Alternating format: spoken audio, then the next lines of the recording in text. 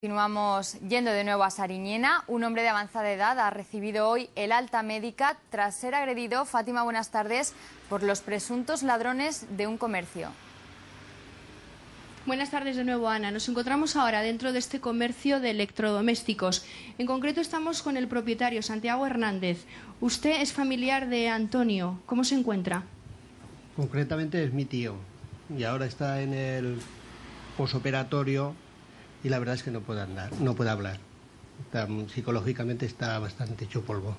Porque le rompieron la mandíbula, ¿no? De los golpes. Le rompieron la mandíbula inferior, que es de lo que, digamos, la han operado de la mandíbula. Y está recién dado de alta y la verdad es que no está muy bien para hablar. ¿no? En principio, los ladrones, los supuestos ladrones, quisieron entrar por la parte de arriba de la vivienda que hemos visto antes y salir por esta puerta que vemos al fondo a esta tienda. Eso le hace pensar a ustedes que puede ser alguien que viviera en el pueblo.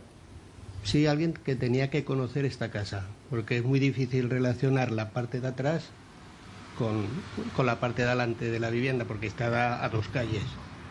Yo pienso que el que ha hecho eso sí que era del pueblo o vivía en el pueblo. También piensa usted que no eran muy profesionales.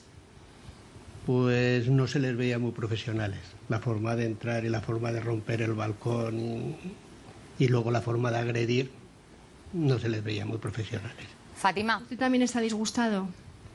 Yo ahora estoy más tranquilo, pero a la noticia está muy disgustado. Muy- Dime, Ana, perdone.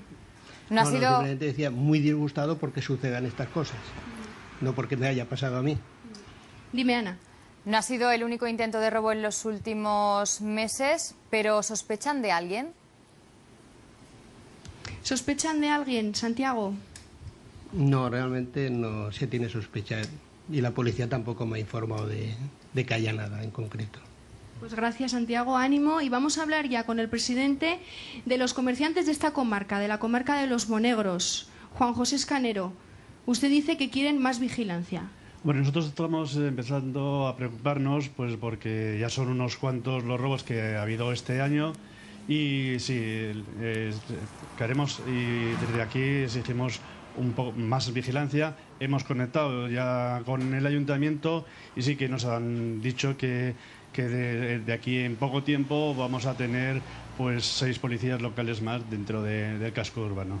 Porque ahora, Ana, son 4.000 habitantes en Sariñena, tienen tan solo dos patrullas de policía local, solo funciona una.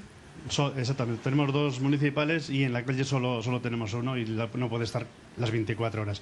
Sí que hay un buen convenio con, con la Guardia Civil, pero también Monegros eh, es muy extensivo y es muy difícil tener todo vigilado. Por eso, eh, por lo menos a nivel local, sí que exigimos en los ayuntamientos que haya algo más de, de vigilancia. Gracias, Juan José. Esperemos que este sea el último intento de robo o el último robo en Sariñena, Ana. Gracias, Fátima. Esperemos también que Antonio se recupere cuanto antes. Buenas tardes.